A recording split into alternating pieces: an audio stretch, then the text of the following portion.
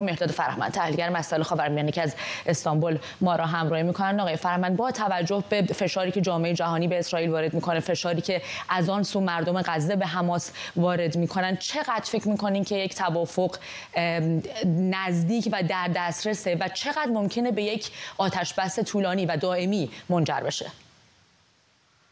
خب اگر که این توافق نزدیک نبود اسرائیل هیئت نمیفرستاد به قاهره.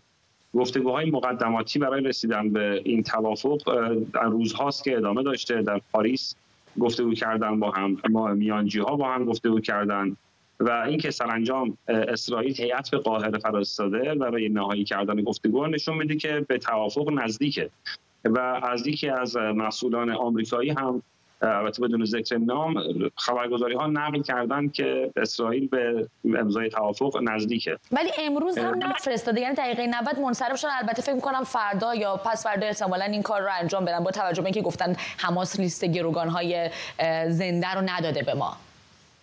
بله درست دعوا بر سر همون لیست گروگان هاست که اسرائیل می‌خوان بدونن واقعا چه تعداد از این گروگان ها همچنان هستن.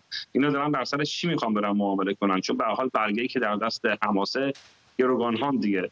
و مثلا هر بار چند بار تا به حال خبر رسیده که افرادی از این گروگان ها کشته شدن. یکی نمونهش به گمان من همین دیروز بود که گفتن که هفت نفر از گروگان ها کشته شدن. ولی اسامی اعلام نشده که مشخص بشه کدومی که از گروگان ها کشته شدن. اساسا چه تعدادشون هنوز زنده هستن چه تعدادشون در دسترس حماس هستن. چون تنها حماس هم نیست که گروگان گرفته جهاد اسلامی هم گروگان گرفته. و ولی به هر حال به نظر می‌رسه که اسرائیل زیر فشارها و به خصوص بعد از این ماجرایی که بهش اشاره کردیم در فکر کنم پیروز صبح بود که در رفح اتفاق افتاد و این کشته شدن تعداد زیادی افرادی که رفتن کمک بگیرن و اسرائیل ها بهشون شلیک کردن اینها این فشارها رو به اسرائیل بسیار بالا برد و سرانجام اسرائیل رضایت داد. یعنی نزدیک شد به اینکه بخواد بیاد و تن به مذاکره بده. و قبلش کاملا در مذاکره رو اسرائیل بسته بود.